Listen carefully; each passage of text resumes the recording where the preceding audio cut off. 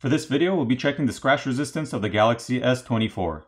If you're interested in seeing more videos like this, make sure to subscribe and click on the notification bell so you'll be notified once I upload a new video.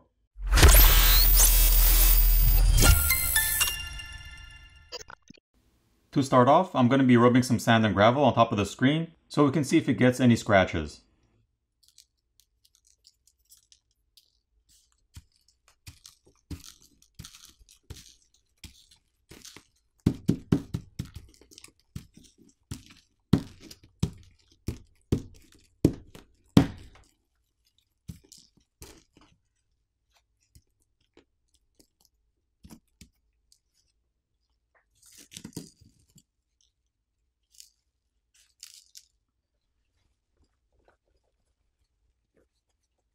Looking at the screen, I can see numerous scratches.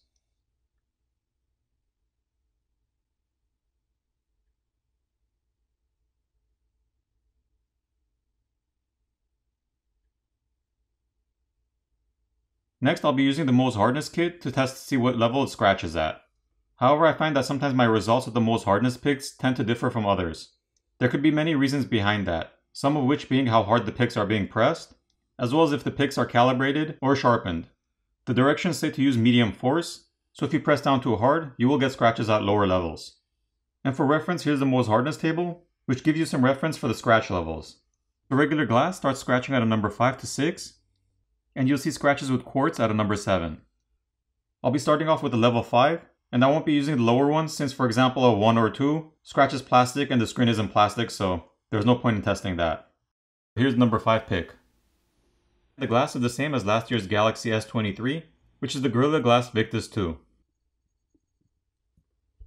Next, we're going with number 6.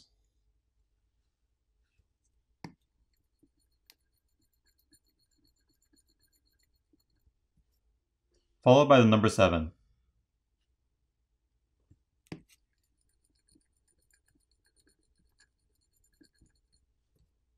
So you can see some very faint scratches at number 6, and some deeper scratches at a number 7.